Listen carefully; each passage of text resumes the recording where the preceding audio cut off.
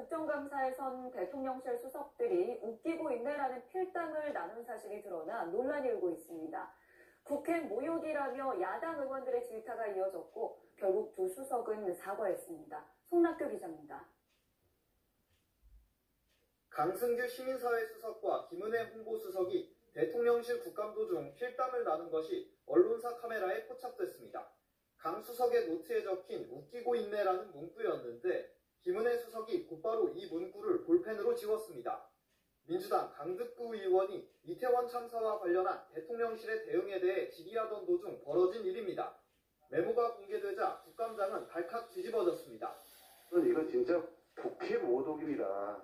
그동안 이 XX들이라고 대통령이 얘기를 해도 저희가 살 한마디 못 받고 여기까지 온 국회입니다. 수궁의 두 수석은 사과했습니다. 이 같은 무리를 빚어지게 해드려서 정말 죄송합니다.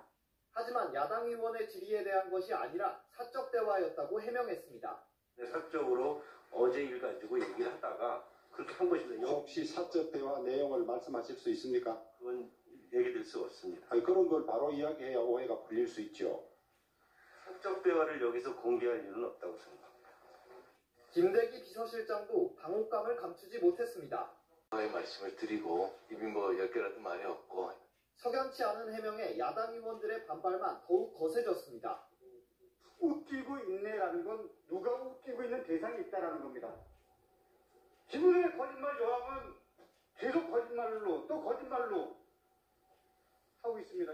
민주당은 즉각 논평을 대고 이태원 참사 책임을 묻는 국민들이 웃기냐고 비판했습니다.